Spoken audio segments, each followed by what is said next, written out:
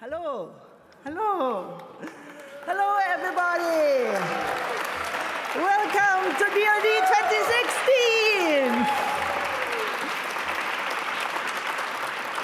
2016. What a wonderful feeling standing here and look at you. I'm so glad that you all came.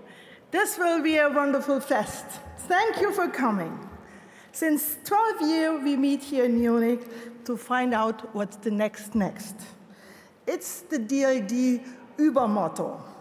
It is as much as the future as it is about the now. It's about the now. Imagine 11 years ago when there was no smartphones, no cloud, no mobile internet, no Wi-Fi. We already discussed what's the next next at DLD. 12 years ago. As you could see in the opener film, DLD stands for amazing people, for their creativity and for their business instincts. And here are some of the people that you will see again as speakers at DLD 2016. You will see we are a community. Some of you are not on this picture, sorry, but I only have six minutes to speak. And I have to say I'm very proud that we again see us, Niklas, again see us, Joanna, again us, Ollie, whomever, you will see them all. These are some of the speakers in, um, in, this, in this year. But sure, we got all a little older, a little wiser maybe, but every year we mix our around 30, it's always around 30, returning speakers with amazing DLD newbies like the audacious EU Commissioner Margrethe Vestager.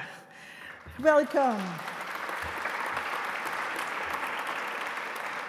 Like Netflix CEO Reed Hastings, YouTube's Chief Business Officer Robert Kyncl, World founder Bobby Lowe or Chris Alchek from Asymmetrica. These are maybe companies you never heard of, but I'm sure you will. And amazing young guys who also came to DLD. Together we do business, but we also create, nourish, and grow a real community, the outstanding DLD ecosystem. You are all part of it. Just a few examples. At DLD 16, we are welcoming back Joanna Shields, who spoke here in 2008 about the social network Bebo. Then she came back when she was the EMEA chef of Facebook. And now she's back again this year as Baroness Shields, the UK Minister for Internet Security. Yeah. Her focus has never changed. She's always forward thinking in business and in politics. Niklas Zennström, who sits there, is a DLD regular since 2007. He made voice over IP telephone calls available to the mass market. It was a re revolution, the Skype revolution. Now he's known as Europe's investment number one champion. Jan Koum will be back at DLD this year, and I know that he has exciting news to share. I, I, now I share a secret. You don't know it, but I'm happy to share it. Pavel Durov will be also coming back at DLD this year. I could name many, many more. My excuses to all of you that did not get a mention now, but I only have six minutes for this speech. Taking, talking about ecosystems, sometimes it makes sense to merge and synchronize them to, a, to reach a higher goal. So I'm very happy to introduce you to my new colleague, Dominik Wichmann. He dares, he dares to jump from the very special, very traditional ecosystem of Germany, so-called quality journalism, to DLD. What a jump, I tell you. What a jump, right into chaos sometimes, Dr. Kallen. But we have a higher goal. You will see next, next of DLD soon. Together we will explore what's next, next for DLD. And you will meet Dominik in a minute. Where are you, Dominik? Here. There's Dominik.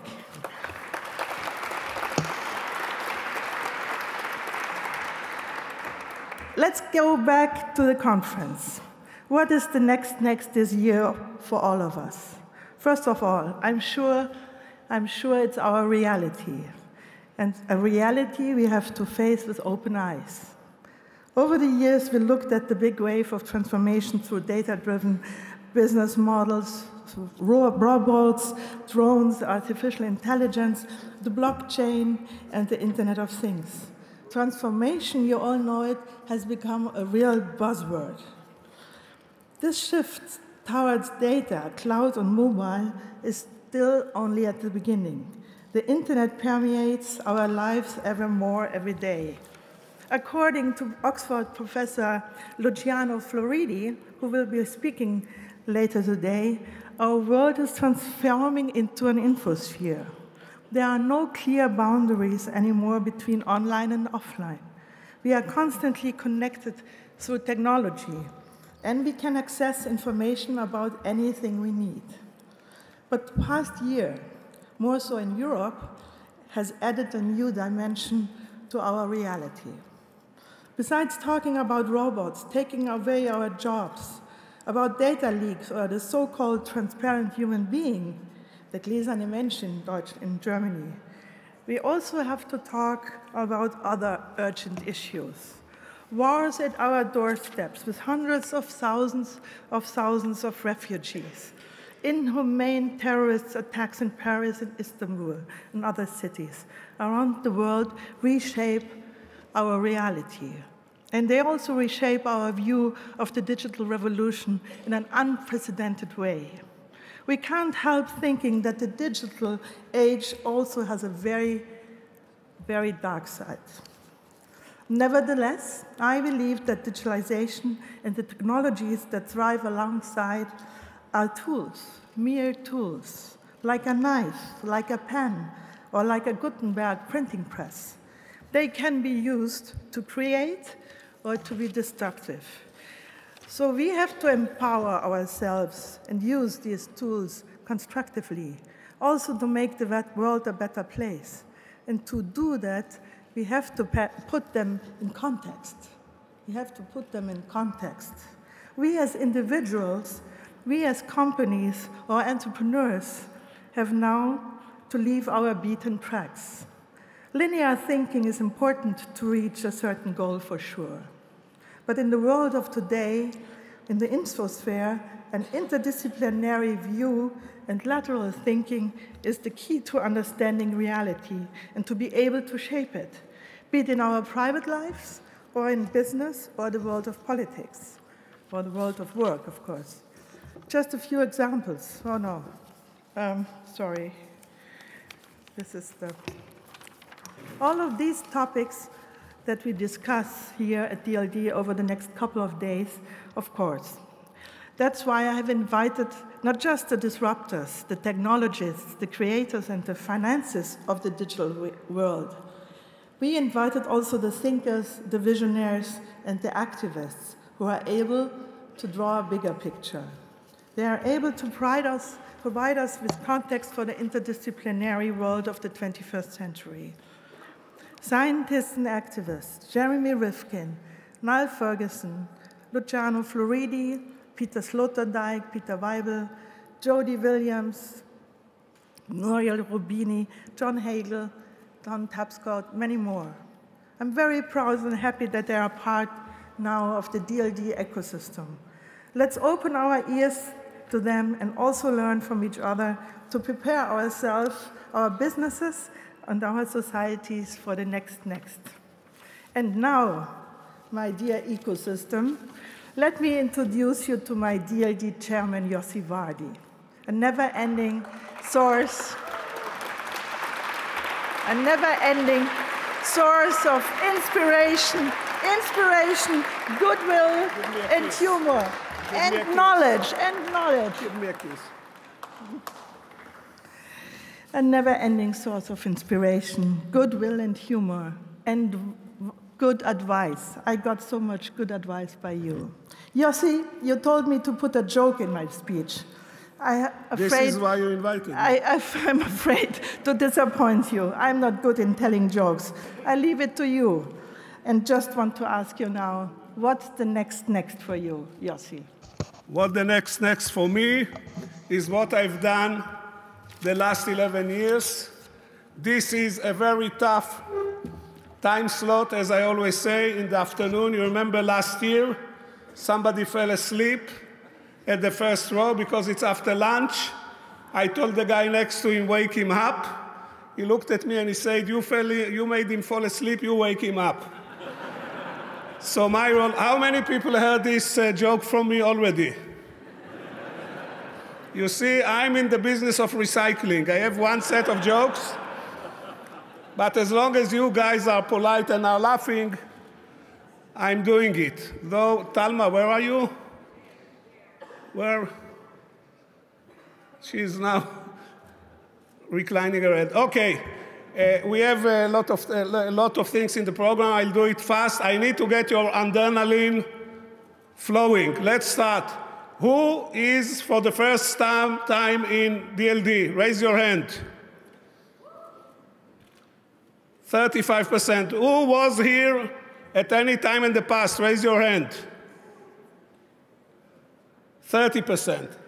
35 plus 30, 65. 35 new, 30 old, 35 don't understand my accent. Let's go to the next question. Countries, countries, from where are you? Scream it, scream. Israel, France, US, Antarctica, Italy, Italy, Maurizio from Italy. Nobody from Germany? Anybody from Germany? Guys, guys, you are sleeping. When I count until three, scream as, as hard as you can. One, two, three. Not bad.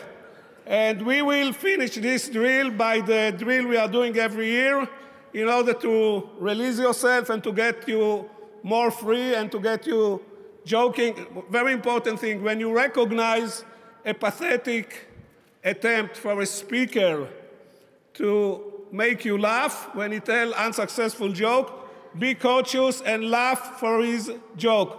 When I count to three, laugh. One, two, three. Try better. One, two, three. Okay, now the last thing, as Steffi said, there are two secrets for the success of DLD. Secret number one, that we are not focusing on business. If you, don't, if you want to do business, that's fine. You know, two adults can do anything in mutual consent, even they can do business.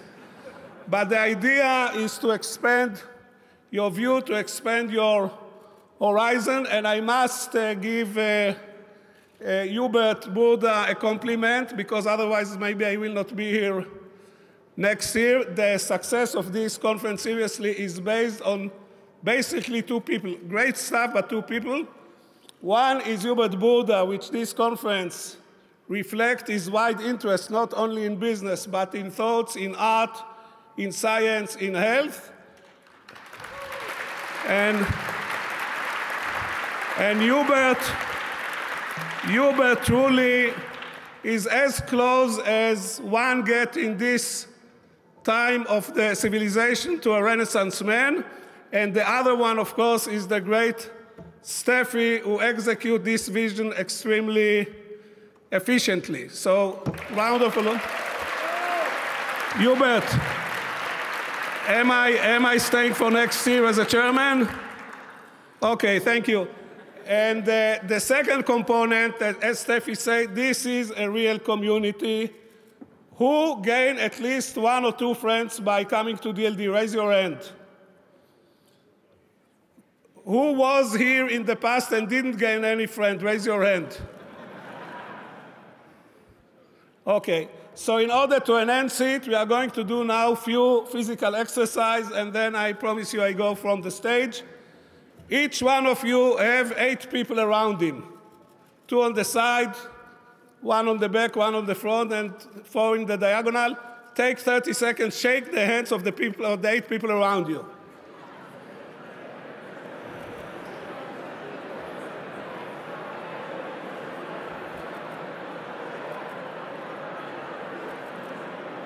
Okay, thank you, thank you, thank you. Hey, hey, thank you. Relax, relax. Let's, let's, let's get a little bit, let's get a little bit more intimate.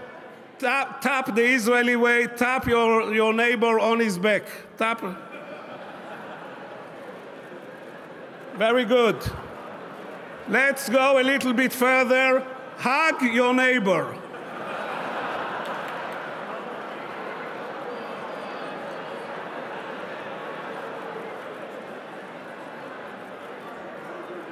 Not too enthusiastically, not too enthusiastically. Let's go a little bit more intimate. Give him a French, uh, how you call when you put the two? And last, forget it. Steffi tell me forget it, forget it. And last but not least, let's play a homage to the Eskimo. Rub your nose with your Ladies and gentlemen, enjoy the conference. It's going to be great and laugh a lot.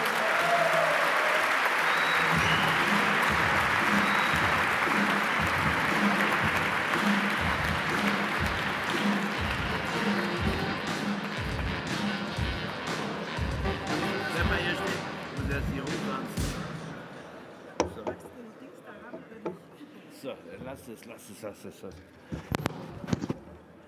Ladies and gentlemen, welcome. It's now the 11th time that we have the DLD conference in Munich. And um, I just thought to give you some information what has happened since I retired with becoming 70 years old. That's five years from now. I fortunately found this young man Bernie Kallen. Stand up, Bernie, come on.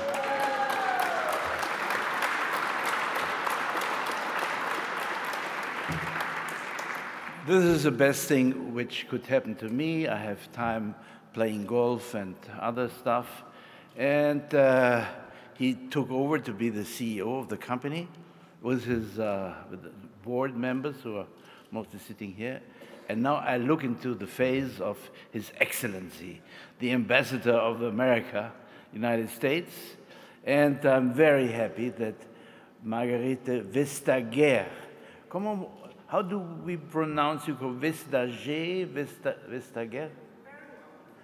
Also, uh, welcome here. It's a tough job, an interesting job, one of the most uh, spannenden which exists in, in Europe for the moment being. And uh, let me give you some more information about my company. When I um, left the position of a CEO and Kallen took over, in these five years he developed uh, our revenues in the digital world to 1.200 million uh, dollars. And um, it's an incredible success. We came forward on many, many fields, on uh, focus online, for instance, probably the, the greatest uh, Tageszeitung on the, on the web.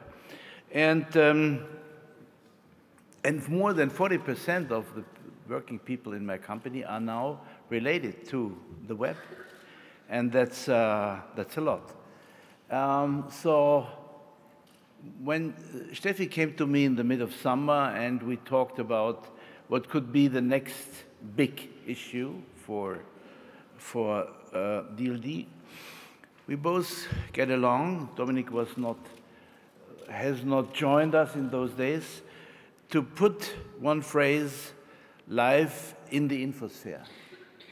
And, uh, you know, I met Floridi, who is on his way here snow in, in, in, in, England too, so we have a little problem with the transportation.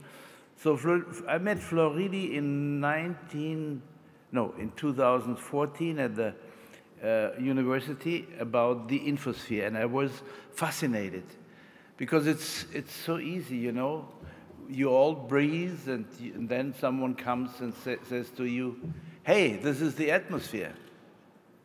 That's okay, but now you have a lot of tools and devices which join you with the infosphere.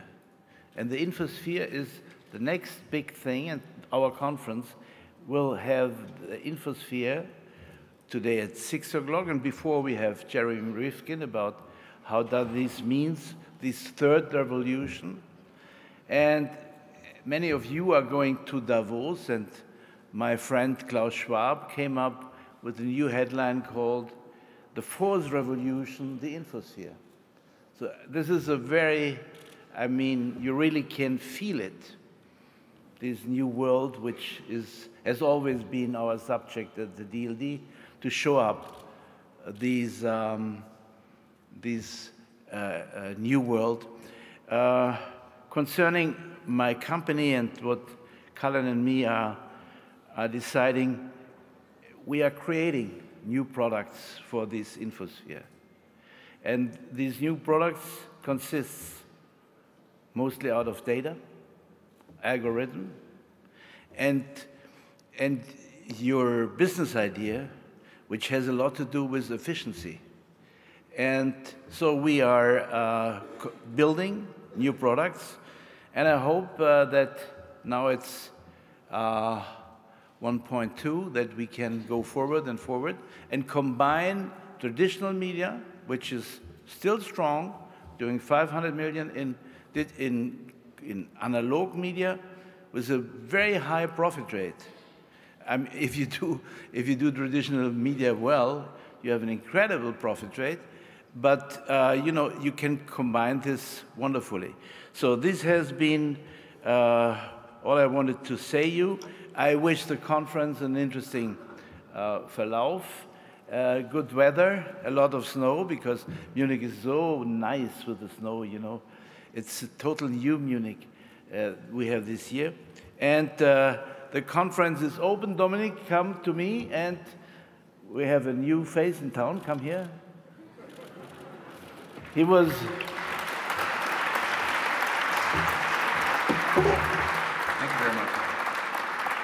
Dominik was editor in chief of Süddeutsche Zeitung magazine and now at Stern. I'm happy that you joined the company. I'm happy too. Thank you very much. Thank you for your kind words, Mr. Hubert Burda. Dear DLD community, dear friends, thank you very much. And um, as you have heard, this uh, year is particularly special for me because it's the first year I'm here not as a guest, as in the last 10 years, but as um, a member of this um, marvelous team who has the privilege to organize and to set up all this here. And so thank you very much to the team who's working like, like crazy within the last weeks and nights and days. So thank you very much. And I think it's time for an applause for all the people you don't see.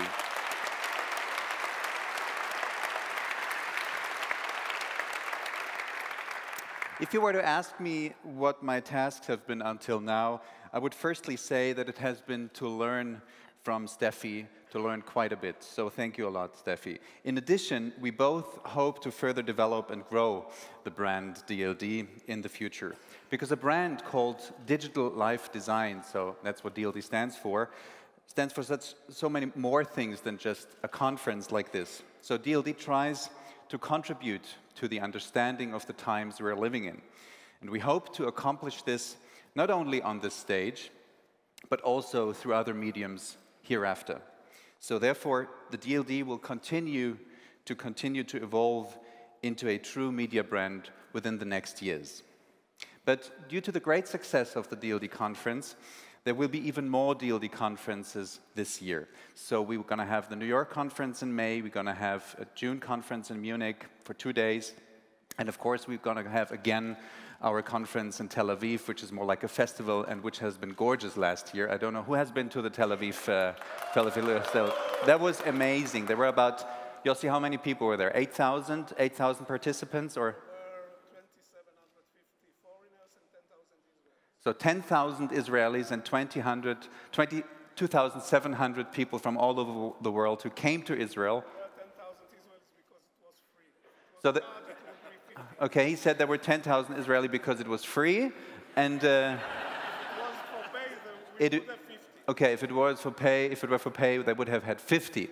No, it was gorgeous. It was a gorgeous festival. So the next time, end of September, I think September 25th, Yossi and Ruti and Oli are organizing this again, and it's really worth a trip. So in addition to that, we have one more message particularly important for us, and that is that DLD is coming to Brussels this year.